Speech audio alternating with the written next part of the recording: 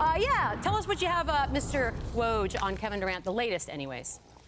Uh, Michelle, uh, Kevin Durant did not accompany the Rock, the Warriors to Houston for Game Six, and he would not play in a Game Seven. But there's optimism around the Warriors that if if Golden State was able to beat Houston, win one more game in this series in advance, uh, that he'd be back early in the next series. They're going to reevaluate him next week, but but given the sense around that injury and the moments after it happened, uh, this couldn't have turned out any better for Golden State, even even though they won't have him the rest of uh, this conference semifinal. Uh, better than I think a lot of people had thought when it initially happened. Woj, stick around, hydrate. We're going to come back to you in a little bit to talk all things Lakers, mm -hmm. but to concentrate on Durant right now, he'd averaged 45 minutes a game in the series. Is it possible that he was pushed too hard? I mean, 45, I mean, that's a lot. That's a yeah. lot of minutes. I mean, we all know that. I mean, especially in the playoffs, it's a lot of the intensity is just different. But as a warrior, as a player, no pun intended, like you, you, you put it, you lay it all on the line, and they needed every single bucket that he put out the entire series. So, yeah, possibly, but a, a, a tough-minded player is not going to think so.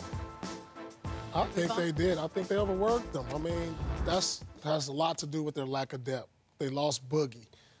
You know, this guy has so much to carry for the Golden State Warriors, or he doesn't have to, but he has been. So, you know, when you combine all those minutes, the flights, you know, you don't get the proper rest in your own bed. I mean, things can happen. I mean, you got to be lucky also.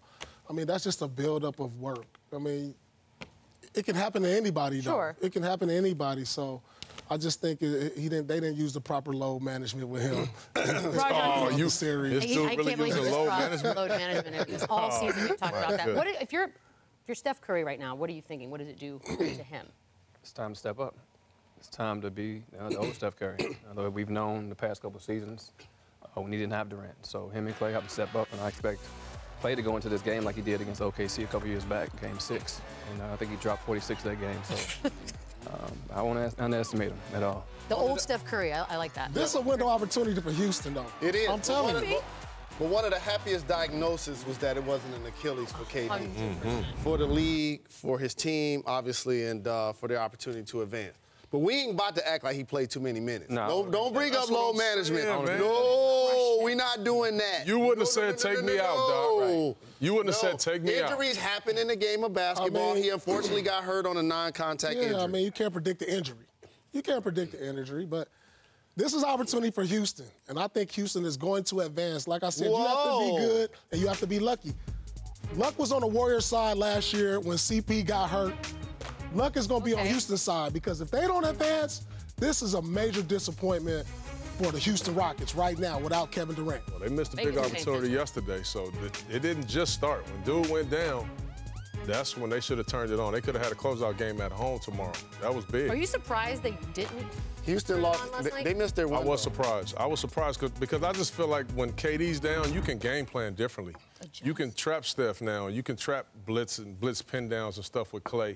Where you can't do that with KD on the floor. Right. They never made an adjustment in that game yesterday. They missed their opportunity. K KD go down, you got to win that game. That's blood in the water. Mm -hmm. James Harden only, what, took one shot the last eight minutes? Yeah, that was crazy. He has the highest usage of any player that's probably ever played the game. You got to get him the ball and try to win that game. I think they take six, but they lose in seven. So we get seven because on of what you side? said. He goes back to being the old Steph.